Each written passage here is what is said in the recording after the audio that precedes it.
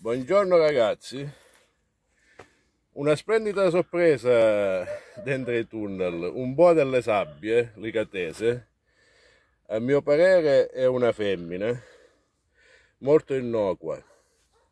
L'ho presa perché si, si, deve spostare da zona di lavoro agricola, se no la lasciavo in pace.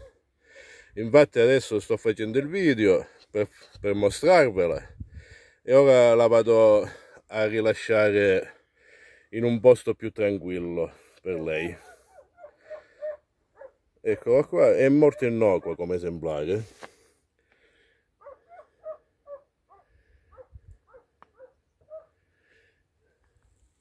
Ok alla prossima.